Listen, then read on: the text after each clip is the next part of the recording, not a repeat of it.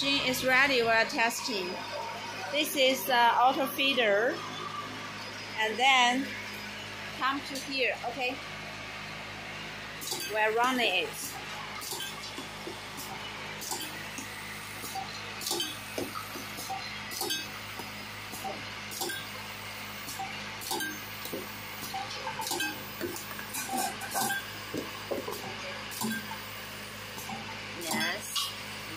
This is the marking.